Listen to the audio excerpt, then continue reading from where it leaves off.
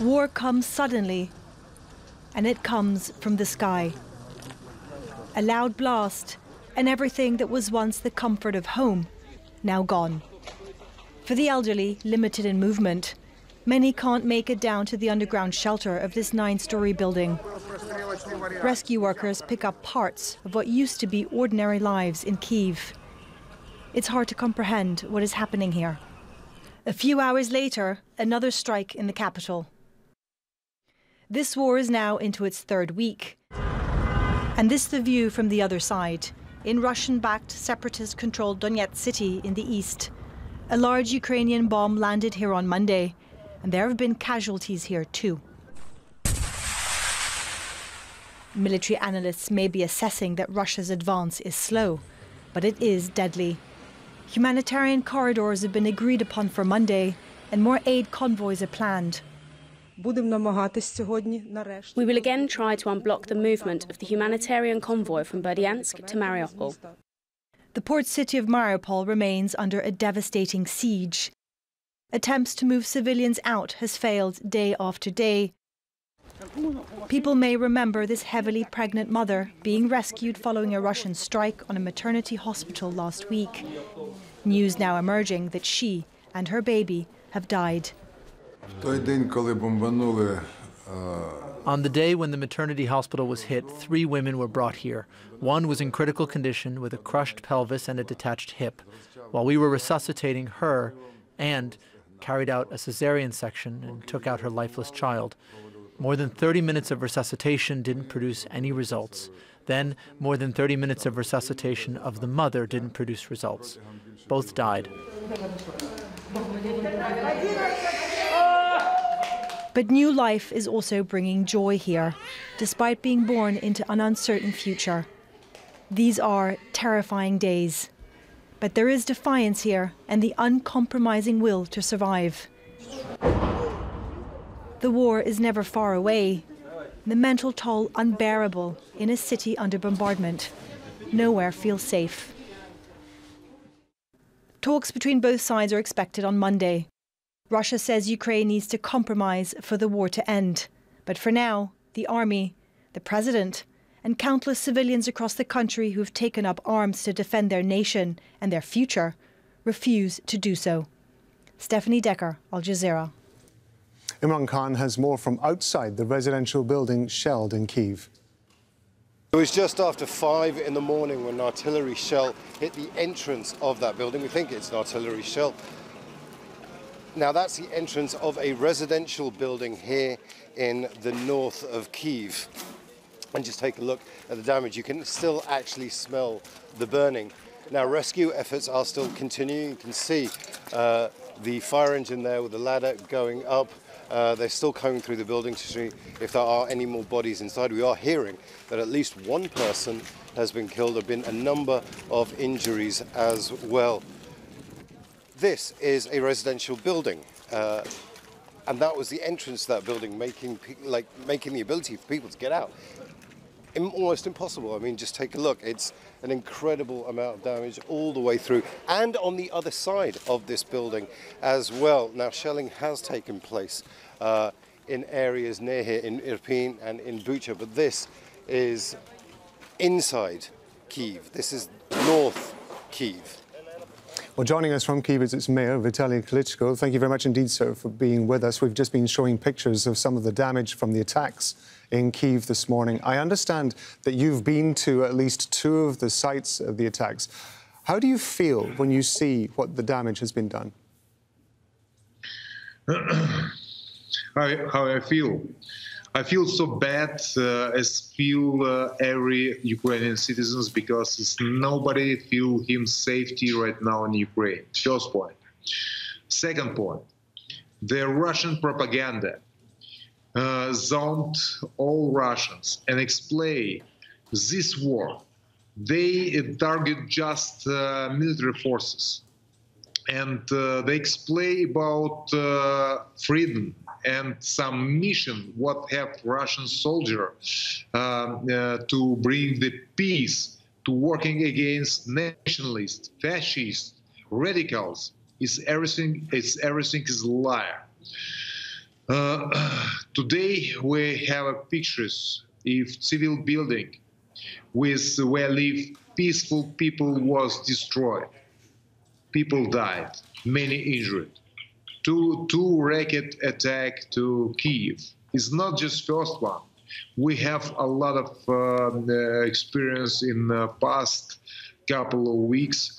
What do it? What did uh, Russian aggressors? Uh, and uh, yes, of course, the target to bring the, the, the goal to bring the panic to the city. After these pictures, we more and more sure we never give up. We will be fight.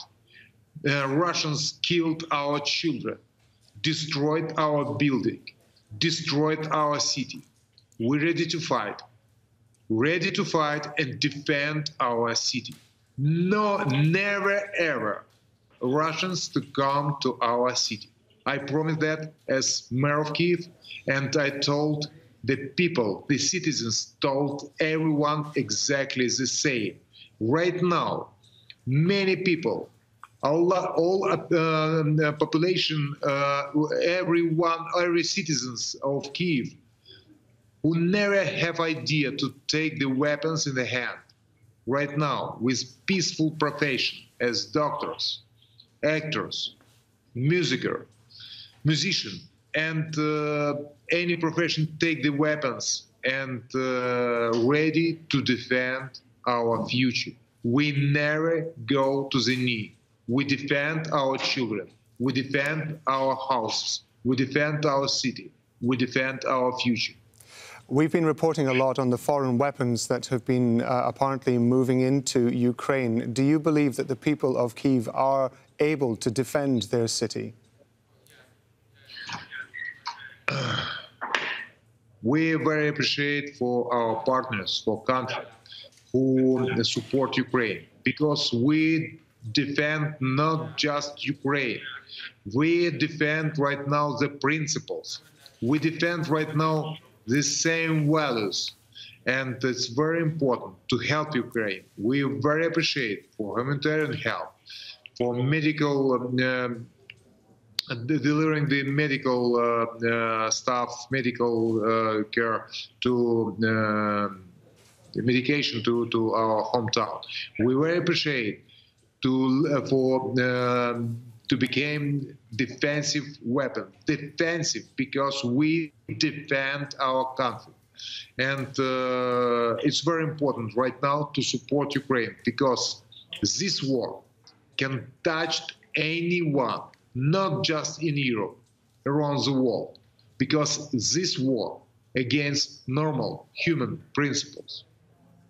We have seen mayors of other cities in Ukraine being replaced. Um, how worried are you about your own safety? Right now, every Ukraine, Ukrainian feel unsafety with war. Is everyone have risk to die, but uh, the aggressors want to bring panic to our city. With this attack to civilian buildings, the, the pictures what we see when kill our children and our women, they give to us the power. We're ready to fight. We never ever give up, and we never give uh, our city. Kiev was Ukrainian city, it was Ukrainian capital, and will be in the future always Ukrainian because we ready to fight and defend our city. By the way, thank, thank you very much for, for the help. It's very important for us. Uh, there, we've reported on the number of civilians who have already been evacuated from cities like Kiev. Can you give us some idea of your plans to evacuate remaining civilians should the city be attacked directly by Russia? Already, thousand, hundred thousand of uh, citizens already moved. Almost is children and women. Men's back to uh, come back to Kiev and ready to defend the city. Finally, sir, we understand, of course, that NATO and its allies are refusing to enforce a no fly zone over cities like Kiev and other parts of Ukraine. Can the people of Kiev and Ukrainians defend their country if they do not have a no fly zone? If NATO can do it, uh, can't close air and uh, no-fly zone status give to Ukraine, please give to us the modern weapons, give to us the Stingers, and we by self close the air above our heads. Vitaly Klitschko, Mayor of Kiev, we appreciate your time, sir. Thank you very much indeed for being with us on Al Jazeera. Thank you.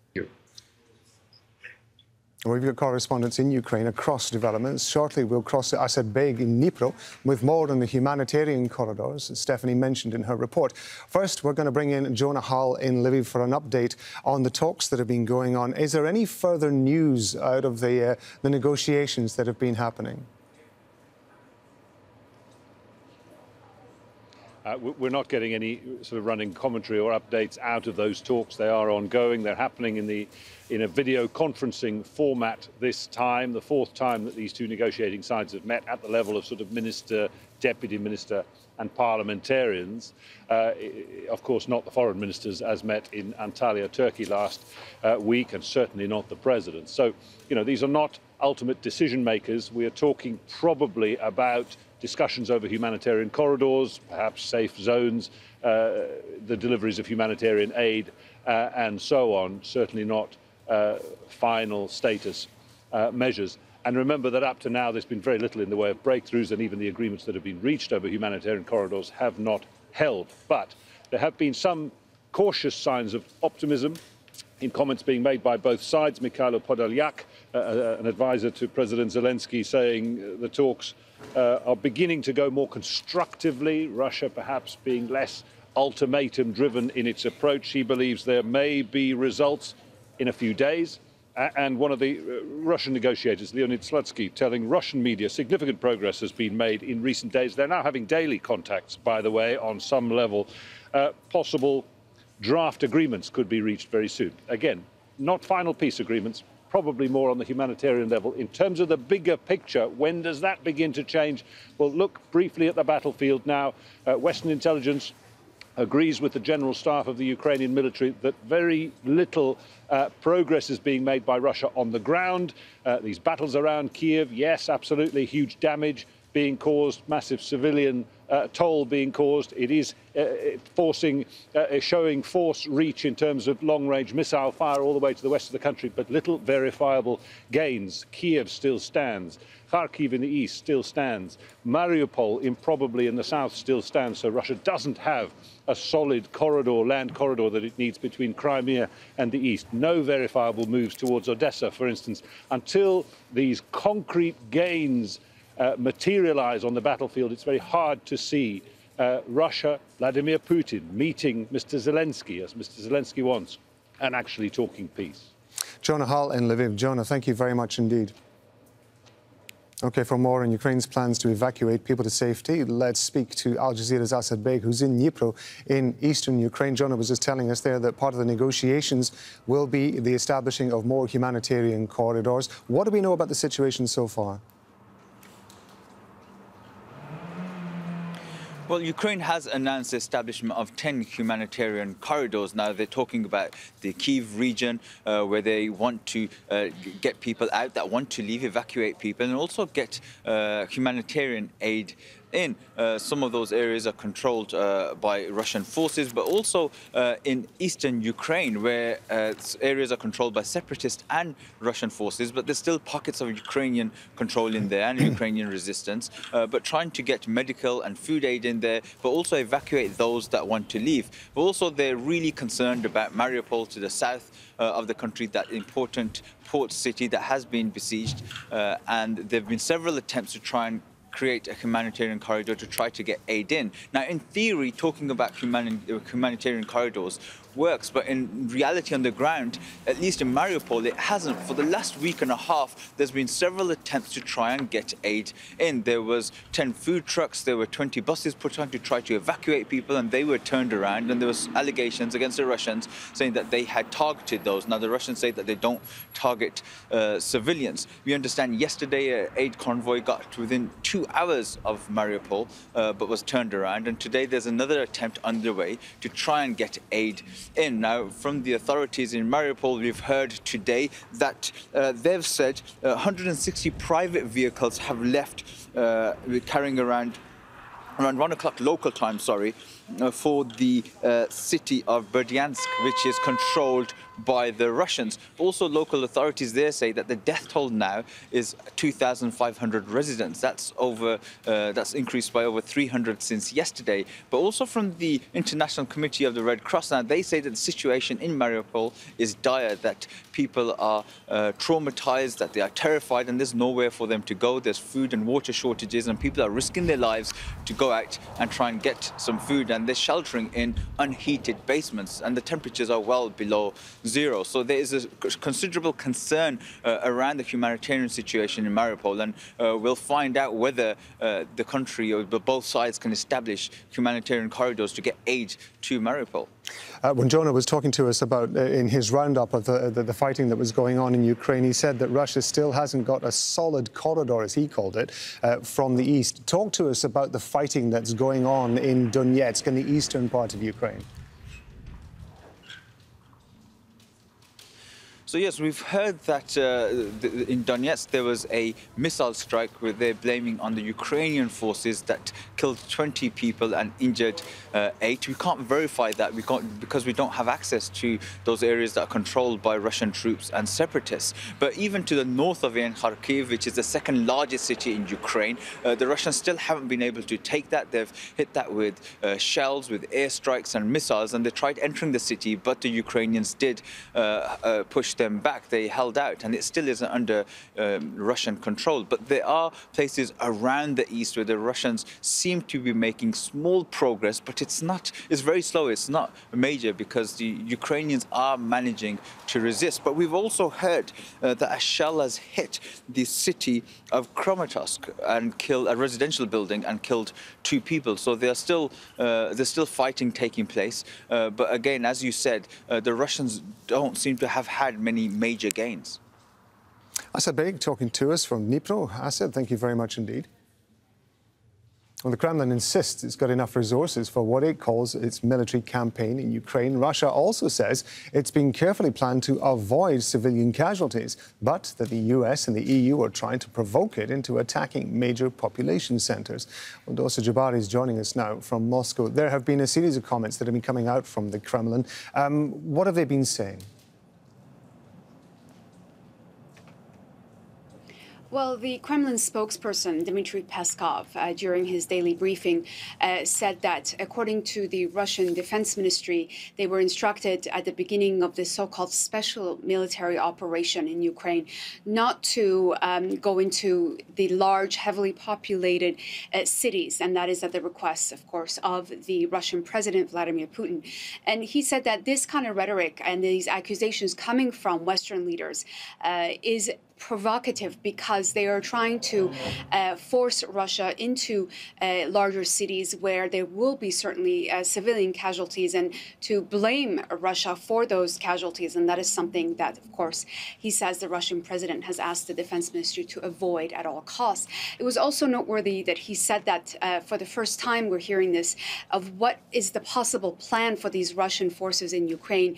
According to Dmitry Peskov, he said that the Russian military does not rule out the possibility of taking under full control of large populated areas in Ukraine to ensure maximum safety for the civilian population, hinting at possibly uh, the Russian troops are going to be staying in certain areas of Ukraine once they have captured uh, certain cities uh, and carried out what they're calling their special military operation.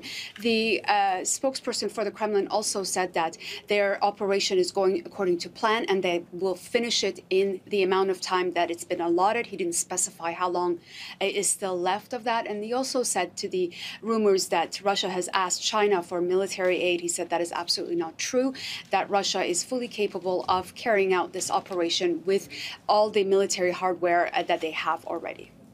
And in the meantime, there is, of course, more diplomacy. This time, the foreign ministers of Qatar and Russia have been talk in talks as well. Yes, the Qatari foreign minister arrived in Moscow on Sunday.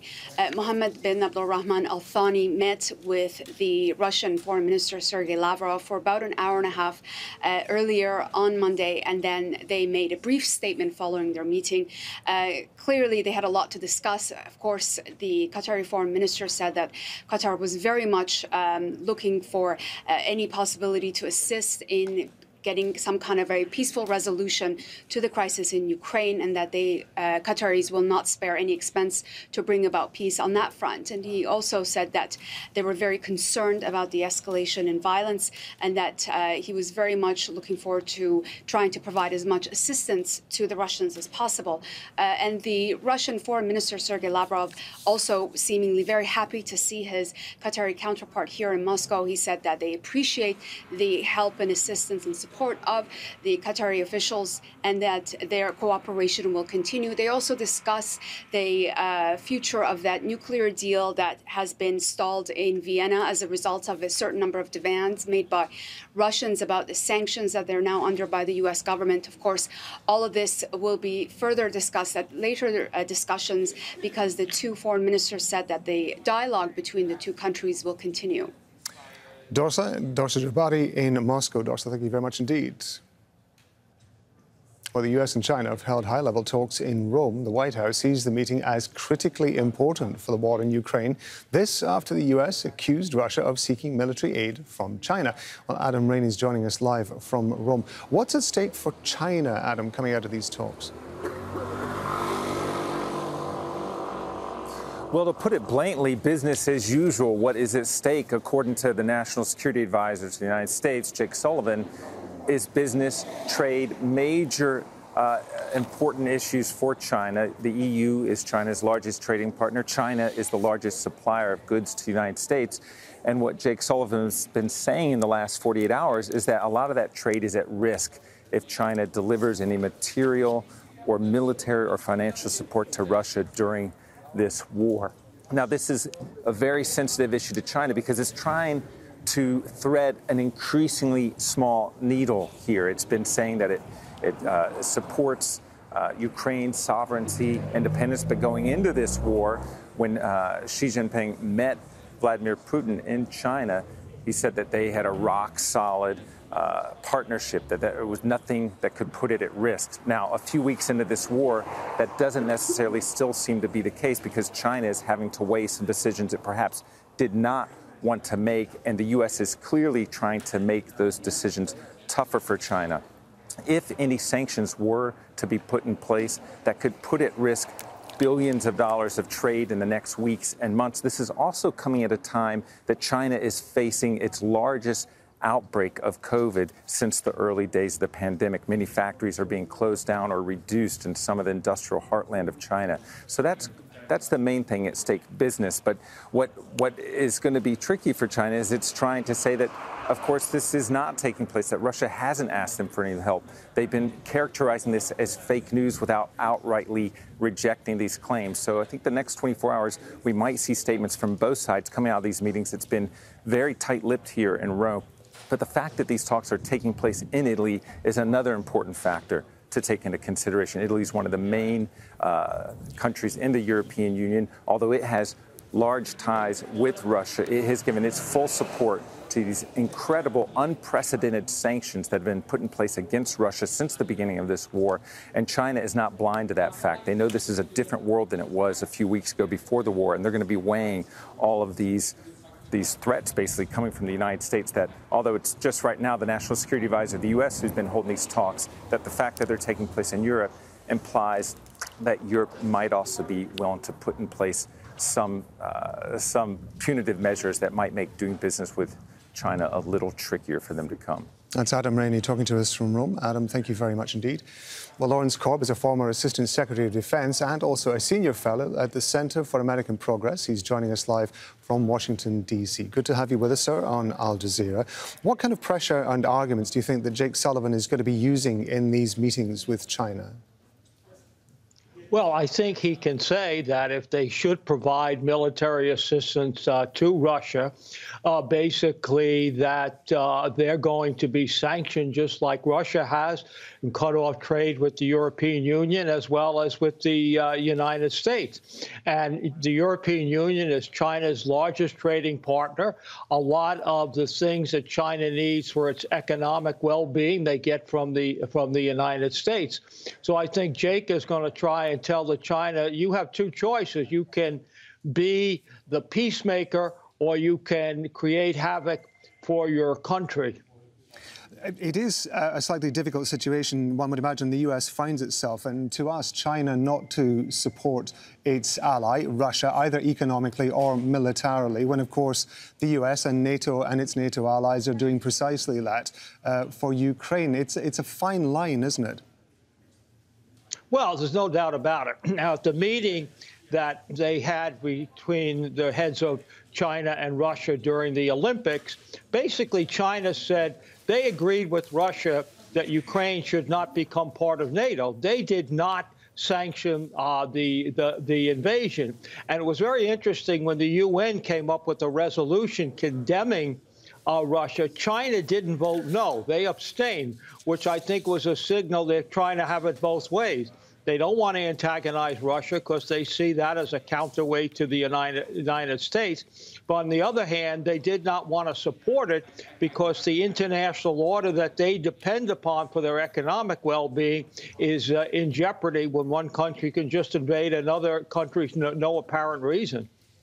Uh, I want to ask you about this line that the US uh, was putting out, that it accused Russia of seeking military aid from China. Given your experience, sir, um, in defense matters, is that a surprise to you that Russia would need to do something like that?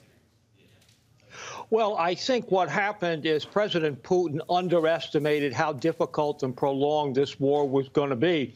So he was not prepared. He thought by massing 175 or 200,000 troops, Ukraine would cave and he'd march in like he did in 2014. But he's uh, found out that he's had to expend an awful lot of uh, ammunition and supplies like that that he may not have uh, stockpiled ahead of this. And so it's not surprising that Russia needs it. But again, who else would they get it from? China is the only uh, country that would have that type of uh, ammunition and the only one that has uh, supported uh, Russia. Now, I believe you met Vladimir Putin back in 1990. Given your impression of him then, the way what, was there anything in his personality and anything that you saw that gave you any indication that may, he might be where he is now with this invasion of Ukraine? No, I mean it, he was a you know at that time he was a uh, you know KGB officer who was you know leaving the KGB as the Cold War ended, and he was the deputy mayor of, of uh, Leningrad. So he was a very very orderly person and, and, a very good administrator. And he was put in to take Russia over when Yeltsin had created chaos. They wanted somebody to kind of restore order and get Russia back uh, improving its economic development. Nobody envisioned him coming in and trying to restore the glory days of uh, of the of the Soviet uh, uh empire. And we saw this real early, the what he did in Chechnya uh, when the, in the beginning Russia had not done well fighting Chechnya. He came in and just was brutal what he did, and that gave an indication of who he really was, which we had never known before because he was a relatively minor KGB uh, uh, officer. As always, we appreciate your expertise in this. Lawrence Korb, thank you very much indeed for joining us. Thank you for having me.